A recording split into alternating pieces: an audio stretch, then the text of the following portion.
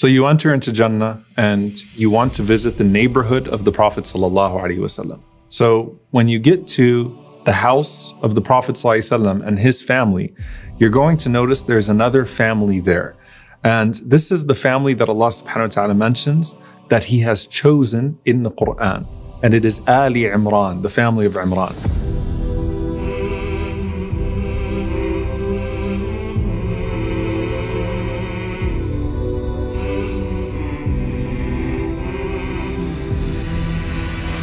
So the Prophet ﷺ said, Al Hasan wal Hussein, Sayyida Shababi Ahl al Jannah.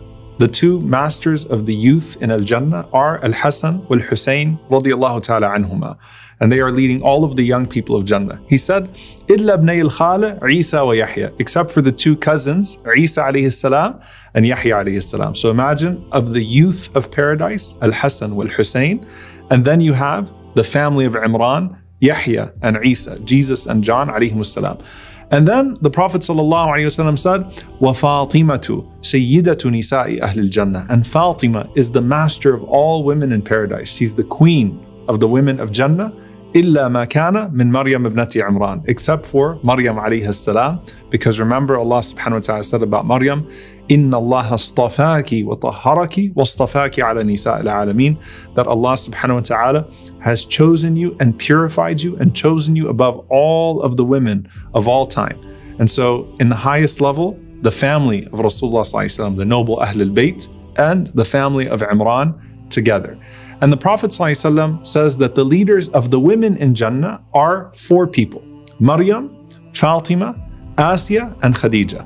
And the Prophet, of course, as he talks about them, each one of them has a virtue. So when you talk about Fatima, radiallahu ta'ala anha, she resembled the Prophet ﷺ more than any other human being. And when you talk about Maryam alayhi Maryam alayhi was this pure woman who led the way with her ibadah and was slandered in this world. And so Allah subhanahu wa ta'ala honors her in ways that we cannot imagine. And then you talk about Asiya alayhi who gave up the luxury of the palace of Fir'aun and all of that comfort. And she said, رَبِّ بِنِي عِنْدَكَ بَيْتًا فِي الْجَنَّةِ Oh Allah, build for me a house with you in paradise. So imagine now how that special house looks like with Allah subhanahu wa ta'ala that you used to read about in the Quran when you were in this dunya. And then you have Khadija radiallahu ta'ala anha. And Khadija was the woman who received the Prophet ﷺ in her arms when the Prophet ﷺ first received revelation. And subhanAllah, if you read about Khadija in the days of Jahiliyyah, in the days of ignorance, Khadija anha used to have this famous house in the days of ignorance that had a green silk pavilion right in front of the house. And that was a sign of two things. Number one, her extraordinary wealth. And so it was just there for beauty and adornment. Number two, even in the days of ignorance, Khadija radiallahu anha was a generous woman. So it was a sign for the poor to come and to receive donations from her. And she would pay the dowries of the poor people in Mecca at the time and whatever it may be. So she had this distinct house in the days of ignorance. And now you walk into Jannah and you see this distinct house of qasab, of pearl, that only Khadija radiallahu ta'ala anha has. And subhanAllah, look at the reward from Allah subhanahu wa ta'ala. She gave up that distinct house in the days of ignorance for now a distinct house in Jannah that all of us can admire. So you're going up to Jannah, you're meeting the Prophet and Khadija radiallahu ta'ala anha, who has a special house unlike the house of anyone else, and this home that Asiya has, and the family of Imran. But you know, when you read about Medina, and it feels like Jannah when you talk about it, you would have loved to go visit the Prophet ﷺ in his various hujurat, in the homes of his wives. And when Allah subhanahu wa ta'ala speaks about the reward for the wives of the Prophet ﷺ, He says, نُؤْتِهَا أَجْرَهَا مَرَّتَيْن وَأَعْتَدْنَا لَهَا رِزْقًا كَرِيمًا that should they be dutiful to Allah and His Messenger sallallahu alaihi wasallam, we will give her her reward two times, and we will give her a generous sustenance on the day of judgment. And Imam bin Kathir, rahimahullah, he says that the reward that Allah is talking about is a special place in Jannah, in Al Illiyin, in the highest place. So just like you had the Hujurat in Medina, that the companions used to come around and they would know that these are the dwellings of the wives of the Messenger sallallahu alaihi wasallam. Now in Jannah, the neighborhood of the Hujurat, the neighborhood of the homes of the wives of the Prophet ﷺ, is in the highest level. So that's the family of the Prophet ﷺ. And you may want to go visit him in the guest house from Aisha radiallahu anha or Hafsa radiallahu anha one day, or whatever it may be. And then you have those that the Prophet ﷺ said were the 10 promised paradise, Al-Ashar al-Mubashirin. And we should memorize these 10 companions' names and we should teach our children to memorize them as well. And they are Abu Bakr and Umar and Uthman and Ali and Talha and Zubair, Abdurrahman ibn Auf, Sa'd ibn Abi Waqqas, Sa'id ibn Zayd, and Abu Ubaid al-Jarrah radiyallahu ta'ala anhum ajma'in. These are the 10 famous promised companions of paradise. And the Prophet ﷺ said that the first two of them Abu Bakr and Umar radiallahu ta'ala will be the leaders of all of the men of paradise. So you have the leaders of the men, you have the leaders of the women, you have the leaders of the youth, Al-Hasan wal-Hussein, and now you have the 10 promised paradise of the companions. And how lofty is their position? Rasulullah on the night of Al-Isra wal-Mi'raj, he was walking through Jannah and he saw this beautiful golden palace. And he thought, this must be for me. So he asked for the keys, right? He said to Jibreel alayhi salam, Can I go inside? And Jibreel alayhi salam said, Actually, this is the house of Umar ibn Khattab radiallahu ta'ala anhu. And the Prophet ﷺ said that I remembered how jealous of a man Umar ta'ala anhu was. And so I immediately moved away from the house.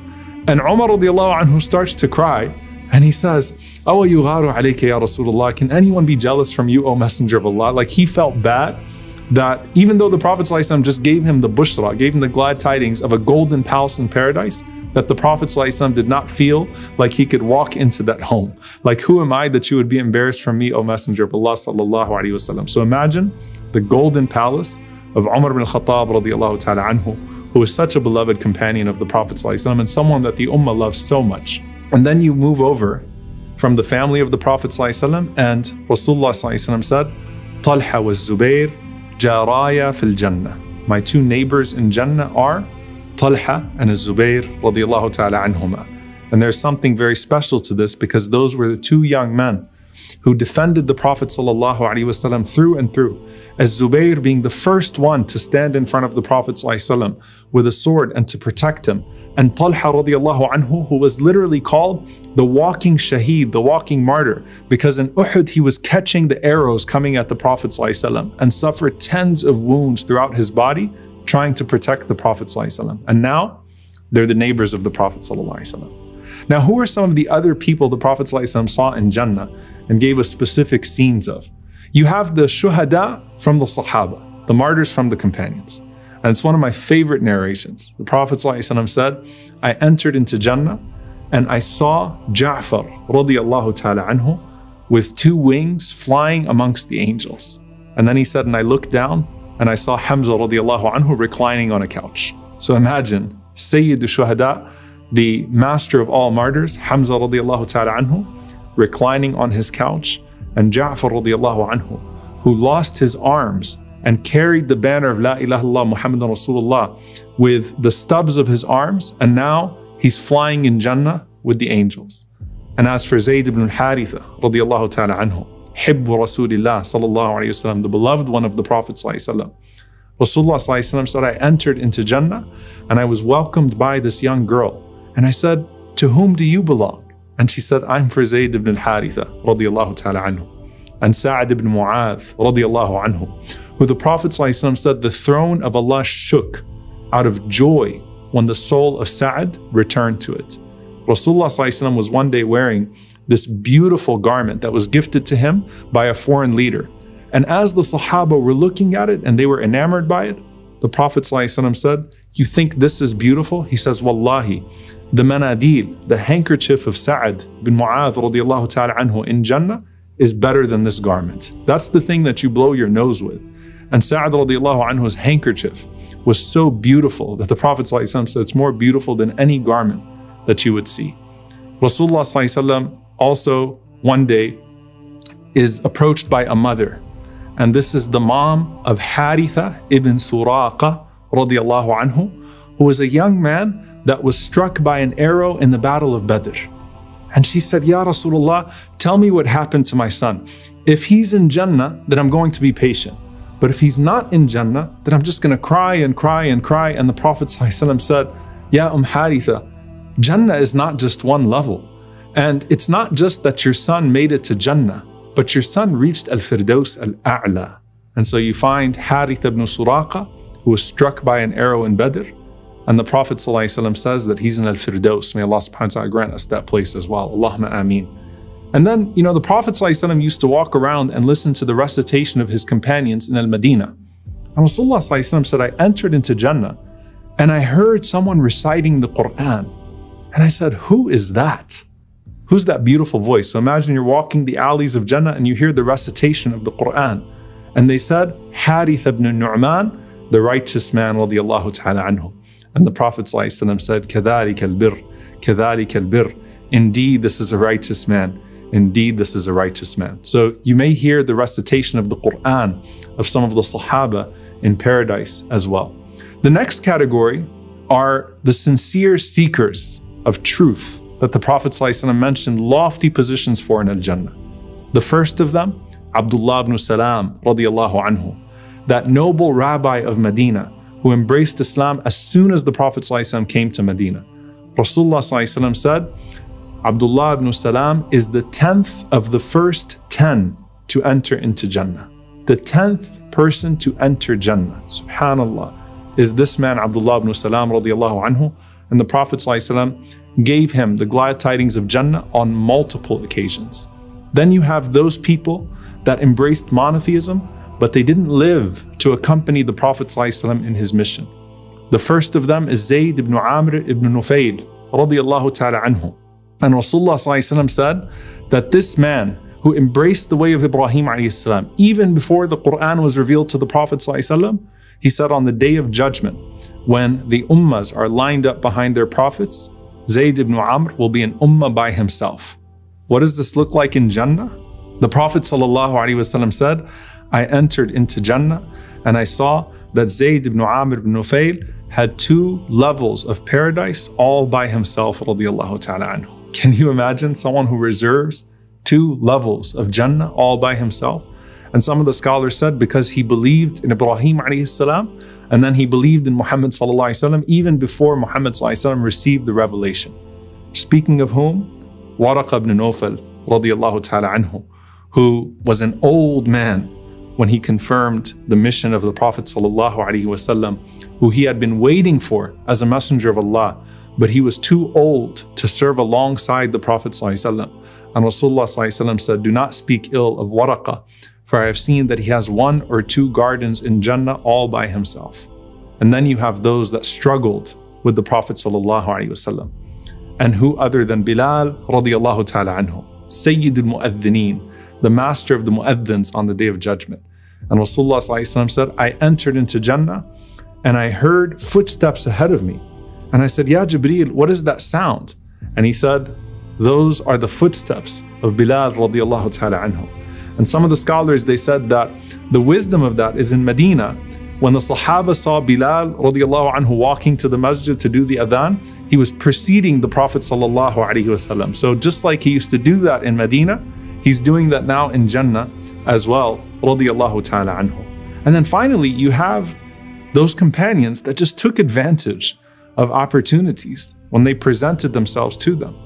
Rasulullah said, I saw myself entering into Jannah, and immediately I saw Umm Sulaim radiallahu anha, the wife of Abu Talha and the mother of Anas ibn Malik radiallahu ta'ala anhum. So subhanAllah, this woman who gave her son in service to the Prophet sallallahu and Abu Talha radiallahu anhu, who gave his best garden, now they have that garden that Allah subhanahu wa ta'ala promised them in return. And you can enter it and see it for yourself. And you can remember that's the garden that Allah was saying, لَن تَنَالُ الْبِرَّ حَتَّى تُنْفِقُوا مِمَّا تُحِبُّونَ You will not achieve the reward of righteousness until you spend of that which you love. Here is that garden now. And speaking of gardens, you may want to visit the garden of Abu Dahdah radiallahu anhu, who the Prophet said, how many date palm trees are in Jannah for Abu Dahdah radiallahu anhu. So you see this huge garden of palm trees in Jannah, and you remember that's the story of Abu Dahdah radiallahu ta'ala anhu. And you may want to meet those sincere seekers along the way who just volunteered themselves for an amazing reward in the moment that the Prophet ﷺ said, Who wants it? Ukasha radiallahu ta'ala anhu, who when he heard the Prophet ﷺ say that 70,000 people will enter into Jannah without any form of questioning and any form of punishment, he said, Ya Rasulullah, make dua that I'm amongst them. And the Prophet ﷺ said, Anta minhum, you are amongst them. And another man said, What about me? The Prophet ﷺ said, Sabaqaka biha Ukasha. Ukasha beat you to it. So Ukasha being amongst that lofty group of people that inshallah ta'ala we can aspire to be amongst as well. And finally, there's one woman that you may want to meet. You remember that woman who suffered from epilepsy and she used to have seizures.